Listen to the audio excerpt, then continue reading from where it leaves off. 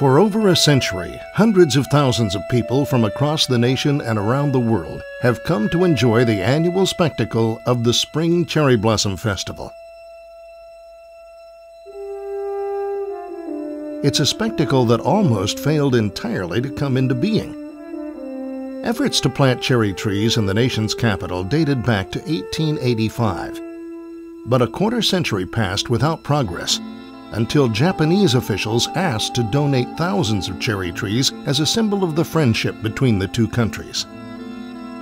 In 1910, the first shipment of trees arrived in the United States, but inspectors found them infested with insects and disease.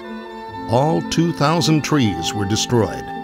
Despite a potential diplomatic disaster, arrangements were quickly made to ship a new batch of over 3,000 trees to Washington, D.C. in January 1912.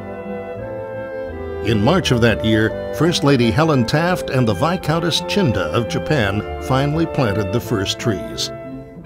Descendants of those original trees still stand along the tidal basin, casting reflections of pink and white light. Walk leisurely underneath or simply stop and enjoy a few minutes relaxing by the water.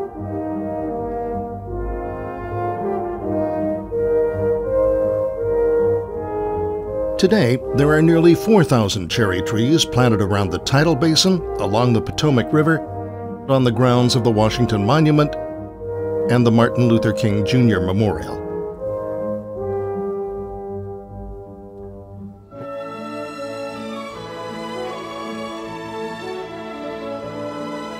A peak bloom, a carefully forecast event that also depends on weather conditions, is as stunning as it is brief.